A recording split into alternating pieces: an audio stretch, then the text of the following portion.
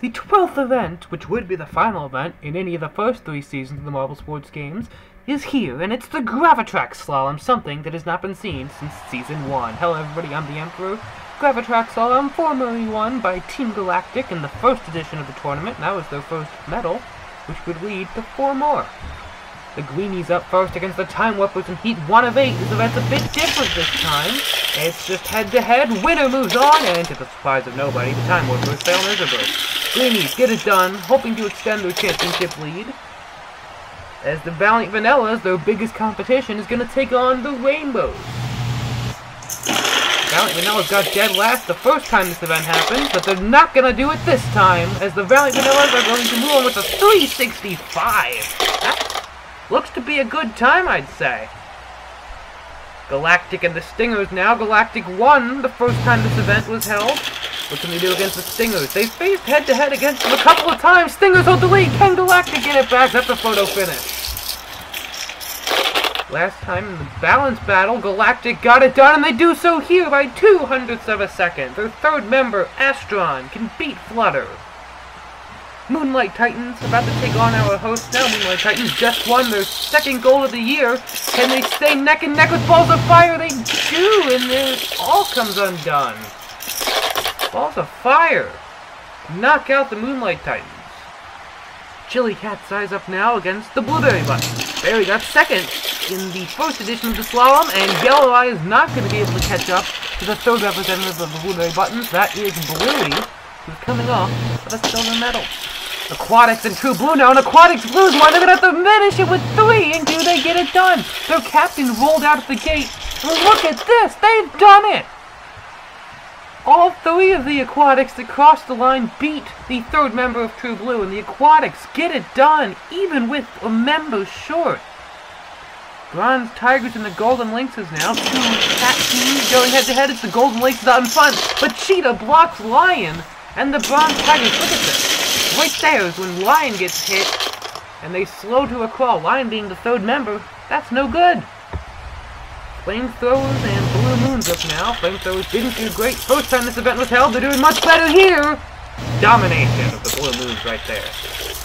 And I just...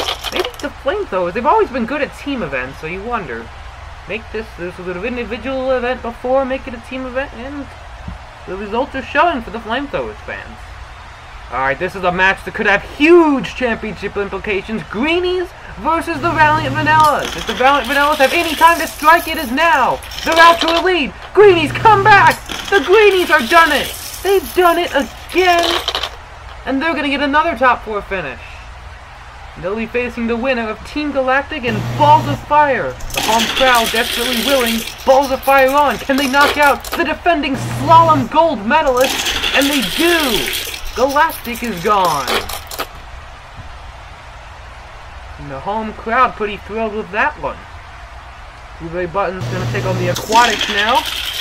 Neck and neck so far. The Aquatics edge ahead and they hold it.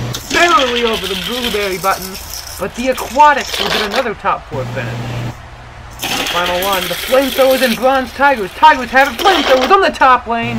And they come back and they get it done four hundredths of a second. The Bronze Tigers are going home. Here we go now for the semifinals. The Greenies versus the host. Can the host stop the Greenies? They have a huge lead now, but it comes undone! This is going to be a photo finish, but the Greenies got off to a huge lead. Blow it! Balls of fire to the final! And the home crowd is going crazy with that come from behind victory. Wow!